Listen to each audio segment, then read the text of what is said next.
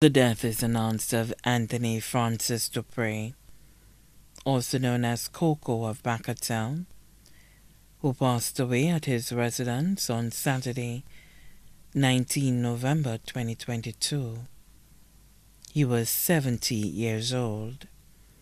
Left to mourn his companion, Usil Augustine, five children, Neville, Nevinia, Kirby and Kirbina Dupre, all of Bacatel, Kelvin Dupre and family of Waterworks Road, adopted children, Kennedy and Cassius Joseph of Geno, grandchildren, Naim, Roshadi, Nathan, Liam, Natalia and Carlos Dupre, all of Bacatel, Nakim Delaire of Saltibus.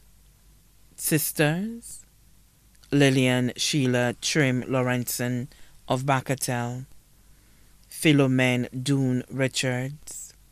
Mary Ann Belinda Dupre. Esme Jacinta Maya Dupre, all residing in the U.S.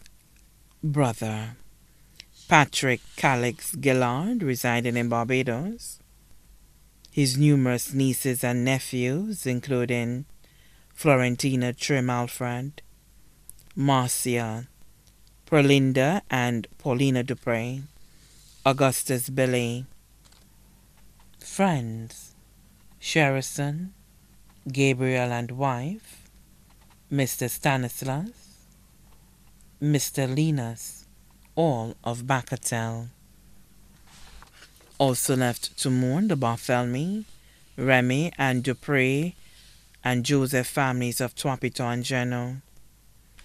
The funeral arrangements for the late Anthony Francis Dupre, also known as Coco, will be held at the Sacred Heart Church in Marcia on Friday, December 9, 2022 at 2:30 p.m. The body will be laid to rest at the Choc Cemetery.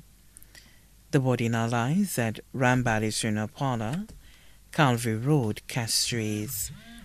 May his soul rest in peace.